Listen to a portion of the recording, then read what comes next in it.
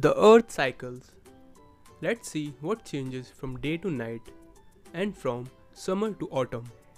What makes day change to night?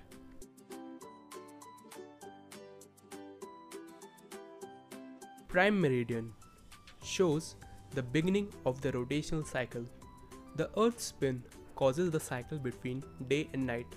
It takes 24 hours for the Earth to rotate completely around its axis.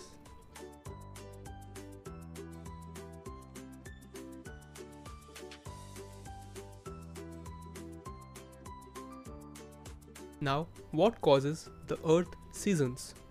The Earth seasons are caused by the tilt of the Earth's axis, which is 23.5 degrees. The Earth revolves around the Sun in 365 days.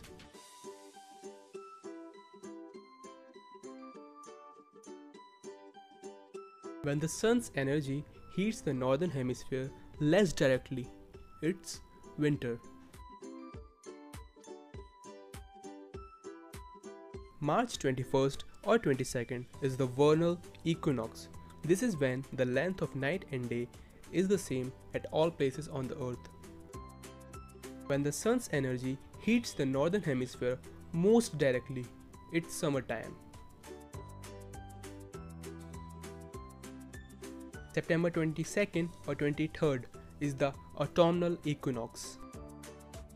Now you know what causing day and night cycles and the different seasons of the day. So hit the like button and subscribe to our channel for watching more interesting videos like this.